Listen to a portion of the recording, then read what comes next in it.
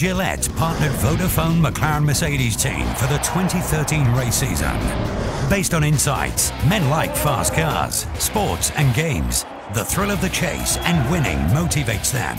The challenge was to innovatively align these elements to echo Gillette's identity of speed, technology and performance. Strategy the exponential growth of the gaming industry and mobile adoption in APAC led us to the perfect platform, Real Racing 3, a male-centric mobile game with a large user base. The idea was to emphasize Gillette's identity through the racing game. Strong awareness and engagement was created via the in-game integration. A limited edition Gillette McLaren car was launched. Exclusive brand track sponsorships were prominently placed. Players were engaged and enticed to watch Gillette videos to earn free race coins. Weekly events were featured. Promotional banners were also in place to maximize reach. Other media were harnessed to spread the word.